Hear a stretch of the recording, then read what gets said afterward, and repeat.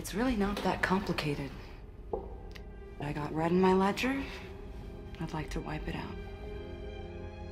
Can you? Can you wipe out that much red? Dreykov's daughter?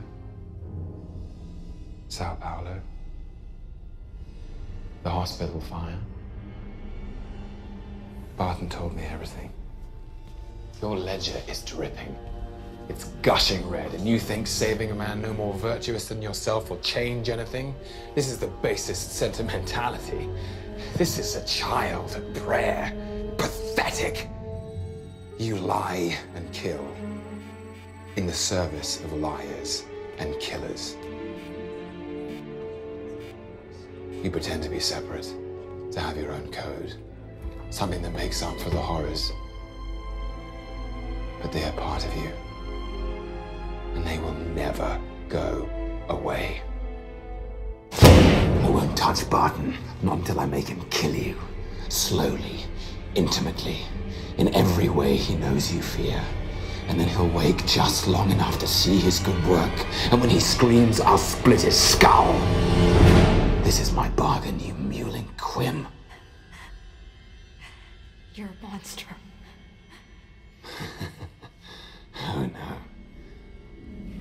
You brought the monster. So, Banner. That's your play. What? Loki means to unleash the Hulk. Keep Banner in the lab. I'm on my way. Send Thor as well. Thank you for your cooperation. So, there we are. Uh, classic, of course, at least a new classic. That's uh, the MCU, the Marvel Cinematic Universe. And we get to see my favorite character, Black Widow. Black Widow faces a. Uh, sorry about that. As always, technical problems. So, um, Black Widow, Natasha. She's always something seems like a bit of a joke. I mean, she's surrounded by the Hulk and Captain America and uh, all the other heroes of the Avengers. And what's her superpower? Uh, it's not clear at all. She doesn't really have one. She shoots really well, but that's about it. And yet, somehow, she always remains pivotal to the MC, uh, the Marvel Cinematic Universe. It's uh, she's absolutely essential to many storylines, and she does that because eh, she's a little manipulative. She's a little uh, uh, good. There's also a fantastic interrogation scene earlier where she gets what she needs to know out of uh, someone who thinks he's interrogating her. So. Anyway, uh, I think it's a reasonably decent setup to meet uh, our matriarch Rebecca or Rivka. So, uh, last time I recorded for this uh, Parsha, I talked about Esau and how Esau may be getting um, a bit of a, a, bad rep from rabbinic tradition, and there are certain aspects of our ancestor uh, Esau that we need to recover. Well, I want to talk about Rebecca. So, uh, Rebecca also finds herself being second or being uh, the follow up. Uh, doesn't seem so important, right? She's um, uh, she's second to Isaac, who has the blessing. She doesn't have the blessing. She's marrying into the blessing.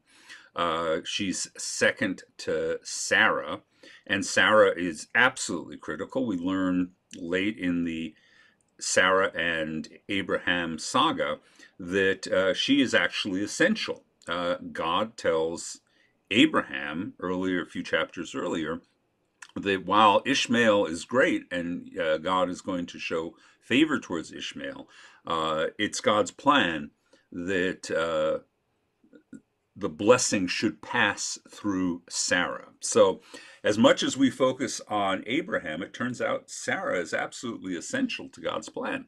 So um, she's second to that.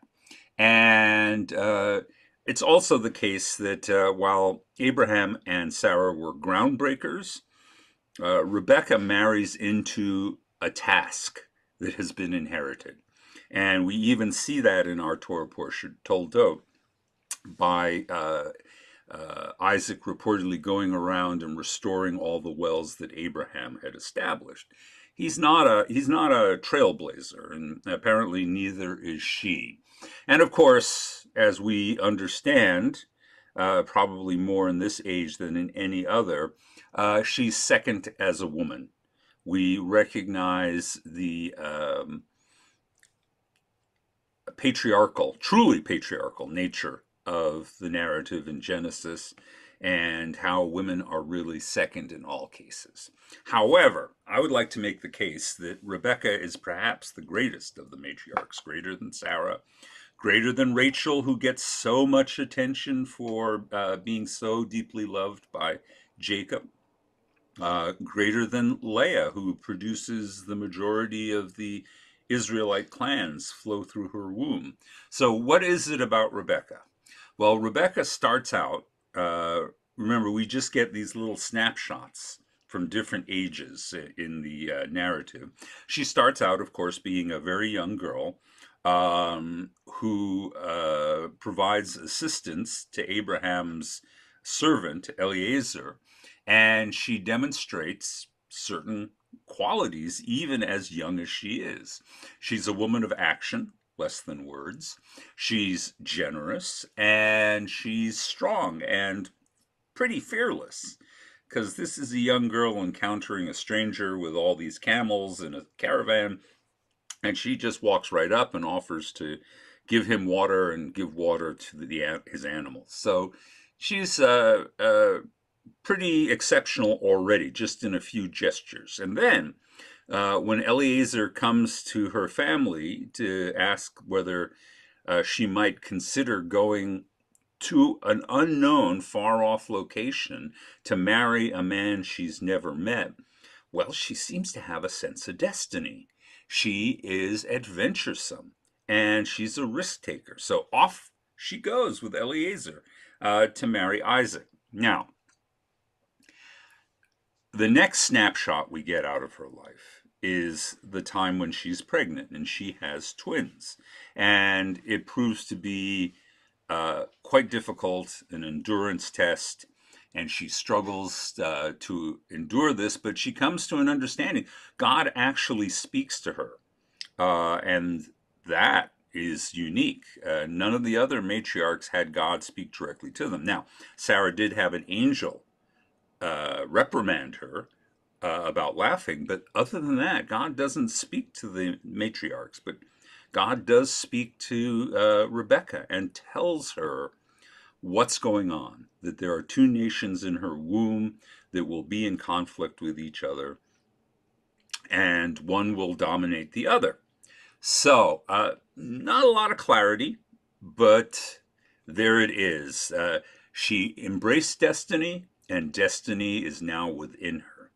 And then we come to the final element in our Torah portion, which is that uh, the two brothers are at odds. Only one of them apparently can inherit the blessing that God has given uh, to Abraham and pass it on. And she makes the decision who it should be.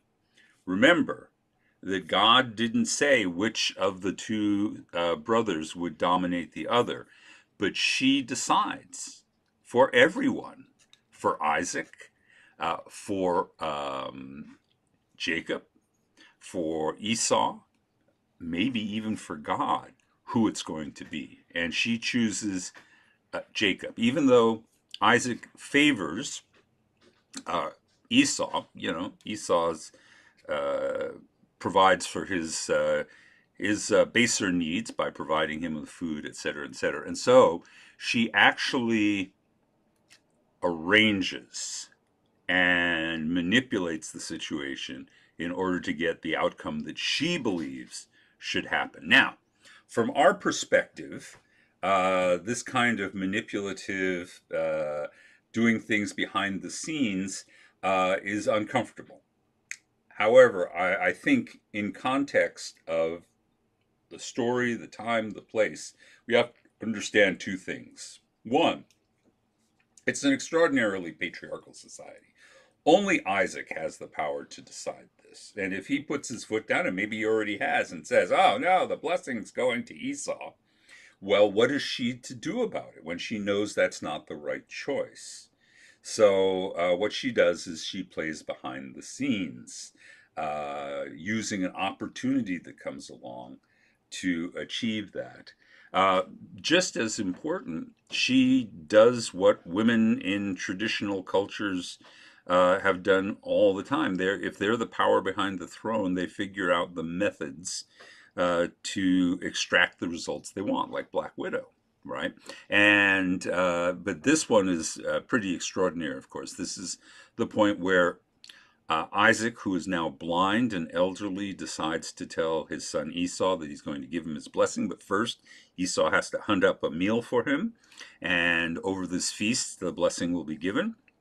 So, learning this, Rebecca tells uh, Jacob while her uh, while her eldest son is away uh, that Jacob should uh, garb himself in um, goat skins on his arms so that uh, when Jacob the blind, when the blind uh, Isaac touches him, uh, he'll be uh, convinced that it's actually his hairy brother, and so then it becomes a kind of subtle. The language of the Torah is kind of subtle. He comes in, he says that he is Esau. He's returned.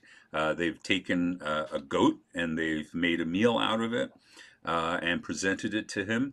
And is Isaac really fooled? He actually says, uh, the hands are the hands of Esau, but the voice is the voice of Jacob. Maybe, just maybe, finally, in this moment, he concedes that Rebecca is right, that Jacob is the one who uh, should receive the blessing. And so he blesses him and uh, sets Jacob on the course, the younger brother, uh, to uh, be the carrier of the blessing forward into the story from this point on. Of course, it sets up even more conflict for the brothers. Esau returns, discovered uh, that there's been a manipulation, and becomes enraged. And uh, Jacob has to flee to find his destiny elsewhere. But what we need to appreciate is that uh, Rebecca put this all into motion. Uh, she sets the course for the future of the Israelite people and therefore for the Jewish people. How many Jewish women in the hundred generations since Rebecca have, despite not having a great deal of formal power, been able to shape the course of Jewish history? So now that uh, you don't have to pretend anymore, uh, now that women can come out front like uh, Black Widow, even if she doesn't have all the superpowers that we presume everybody else does, uh, we should listen to the wisdom of women and appreciate what they're offering us in terms of guiding the Jewish people for the next generation. So, with that, I'm uh, done with my uh, Taste of Torah today. That was uh, Parshat Toldot, and we'll see you next week.